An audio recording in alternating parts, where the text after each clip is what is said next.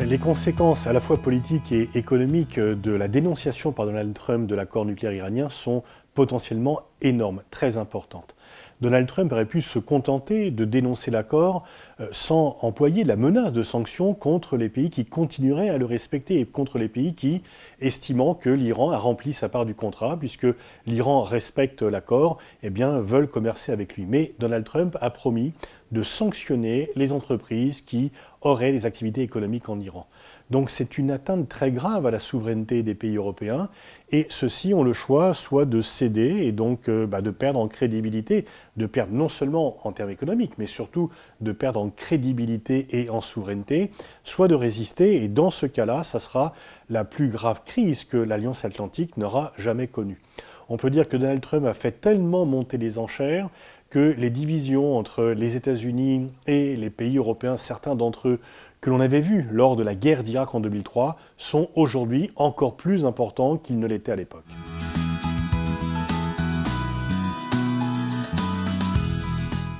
Les Européens sont à la croisée des chemins. L'expression est souvent employée, voire galvaudée, mais cette fois-ci c'est une réalité. Parce que bah, le choix, il est entre deux grandes options, avec bien sûr des nuances dans chaque option. Soit ils se disent on ne peut pas résister aux États-Unis, euh, ils nous promettent les pires sanctions si on commerce avec l'Iran, donc on arrête tout contact avec l'Iran et on dénonce les accords qui ont été passés et on cesse de prospecter dans ce pays afin de ne pas subir les foudres des États-Unis. Soit ils se disent eh bien non, ce n'est pas acceptable. Les États-Unis ne peuvent pas décider à notre place. Et dans la mesure où nous estimons que l'Iran respecte l'accord qu'il a signé et que nous avons signé, bien nous euh, refusons l'oukase des États-Unis parce que finalement, les États-Unis ne voient pas en nous des alliés, mais ils voient en nous des vassaux à qui, auxquels ils peuvent euh, ordonner de faire ce que bon leur semble, pour des raisons d'ailleurs très discutables de politique intérieure américaine. Et donc dans ce cas-là, eh ils vont ne pas céder à la demande américaine et on va se rentrer dans une zone de grave crise. Mais là, vraiment, les Européens ont leur destin en main. Ce qui change par rapport à 2003, c'est qu'à l'époque, de nombreux pays européens importants étaient d'accord avec George Bush. Le Royaume-Uni, l'Espagne, l'Italie étaient euh, finalement d'accord pour soutenir la guerre d'Irak. Là, même un pays aussi normalement pro-américain que le Royaume-Uni est hostile à la décision de retrait américain de l'accord nucléaire. Donc là, eh euh, face aux multiples et répétées attaques de Donald Trump par rapport au système multilatéral depuis qu'il est élu président, il est temps que les Européens eh sonnent, euh, lancent un signal d'alarme et disent non, nous ne sommes pas d'accord, nous ne sommes pas des pays vassaux et nous ne venons pas obéir aveuglément à un président américain dont la conduite, par ailleurs, nous paraît extrême.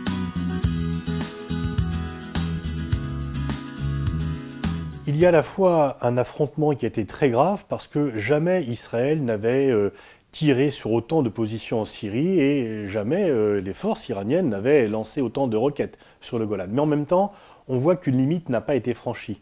Il n'y a pas eu de tir directement sur le territoire israélien, c'est le Golan qui juridiquement n'est pas un territoire sur lequel on reconnaît la souveraineté d'Israël, et par ailleurs Israël a tapé en Syrie et non pas sur le sol iranien. Et ce n'est pas la première fois que Israël fait des incursions militaires en Syrie. On peut penser que dans cette optique, les Russes ont un rôle majeur à jouer, parce que les Russes sont à la fois euh, très liés à Israël, et Poutine a reçu Netanyahou en grande pompe pour euh, le 9 mai, pour célébrer l'armistice et la fin de la Seconde Guerre mondiale, et en même temps, la Russie est liée à l'Iran, notamment en Syrie. Et donc la Russie, certainement, euh, joue de tout son poids pour éviter une escalade directe entre deux pays avec lesquels elle a des bonnes relations. Et là, on voit que c'est plus la Russie qui peut agir que les États-Unis.